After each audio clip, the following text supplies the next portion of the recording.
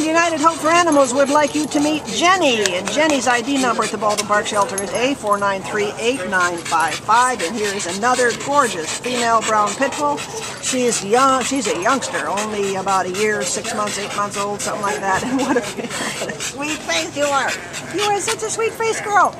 She's uh, she came to the shelter as a stray on April 15th out of El Monte, and she owned 35 pounds. It says she weighs 35 pounds. That about right? I think she's probably put on some weight a little Yeah. bit. She's probably more about 45 pounds. She's not very big, but she's she's thick. I was going to say she looks like you know she's a candidate for Jenny Craig. She maybe got a little couple couple extra pounds there, but it's hard to tell with these dogs because Yeah. they're all so thick. You know, she's. but you have a beautiful figure. Don't don't get me wrong. You are gorgeous. And she passed her temperament test with flying colors. She is a real, real, real doll. She's she's been with other dogs out here and done done just fine. And as you can see, she loves attention. Loves attention. Oh, whatever you want to do, it's fine with me. All right, baby? You want to come see me? Good idea.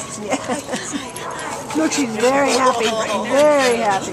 This is a playful, playful, friendly dog. She's going to be a great family dog as long as uh, you respect her strength and size. You know, with little, with little ones around, but she's so sweet and so playful. Like so many of this breed, she is just a charming, charming, charming companion. Look at that. you are so cute. What else do you want us to know, Jana? She is just a funny little thing. She's just, she looks like she took a dog and just went, just squish it a little together a little bit. Um, just such a great temperament. She's really excited, loving, hopped right out of the kennel to be with me.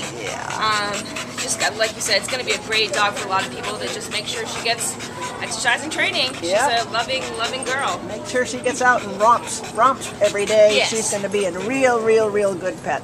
So please come on down and meet Jenny at the Baldwin Park Shelter and give her the home she so desperately deserves. Right, baby? Right. Right. Okay. See you later. Bye.